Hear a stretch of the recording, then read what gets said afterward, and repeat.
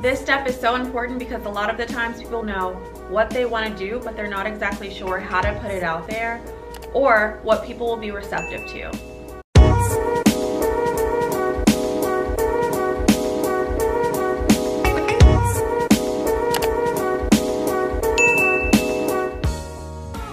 Hey guys, welcome back to my channel, the number one place for entrepreneurs where I give you the keys you need to succeed.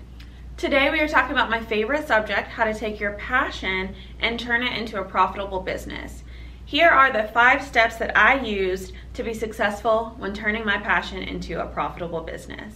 Starting a business can be very hard. There are so many moving components. I know when I first started my business, there were so many things to figure out I had no idea about and I had to try to figure it out on my own. All I wanted to do was take something that I absolutely loved and turn it into a profitable business. I wish I had the guidance at the time to know what was important, what things to focus on, what was gonna make me money, and what to not even waste time on. I'm about to give you an outline of the five steps that I wish I had to take my passion and turn it into a profitable business. These steps also coincide with the five modules in my course, Passion to Profit, available online. Number one, passion. What are you passionate about? What do you absolutely love to do? What can you see yourself doing and never getting tired of it? What do people come to you for? What are your strengths? These are all questions that you can ask yourself to figure out what your passion is and what you can turn into a business. In this step, you also want to outline your business and what will make your business thrive, such as the goals, the values, and the mission that you will have every day as you run your business. This step is where we also outline a business plan. I know a business plan may sound like a pain to do, but I can help you do it effectively and efficiently so that your business can thrive. The next step is audience. Who are you talking to? Who are you going to market to? What is your client avatar? You already know what I say. If you're talking to everyone, you're talking to no one. People always say, I'm going to market to whoever will buy my product. And think about it. If you have a product and it's not specifically for you, you're not going to get it. So you have to nail down who your audience is who you're talking to and who you're going to be marketing to to figure out the best way to grow your business. In this step, we also evaluate the platforms and your touch points as well as your client transformation.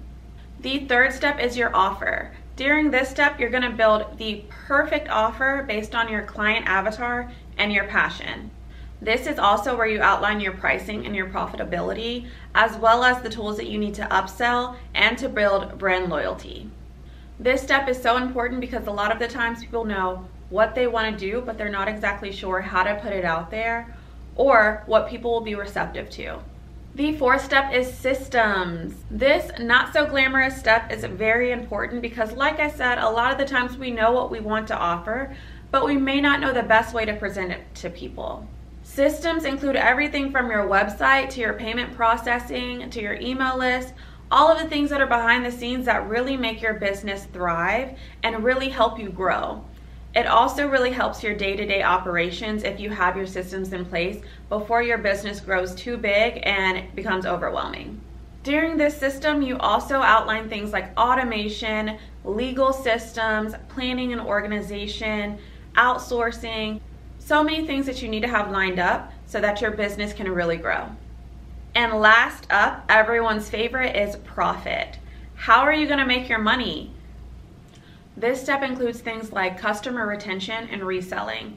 It also includes things like hiring and management to figure out how to make your business grow without you going crazy.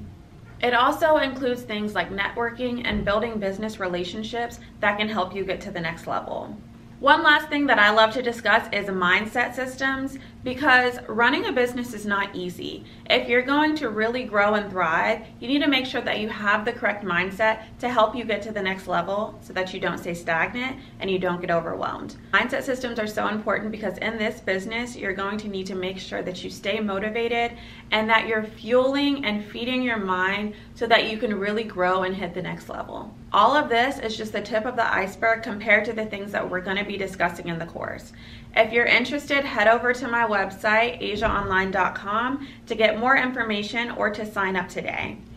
In the meantime, you can follow me on Instagram at Ashia Carp and make sure you like this video and subscribe so that you can be notified when I drop another video. All right, guys, have a great day and a successful life. I will talk to you soon.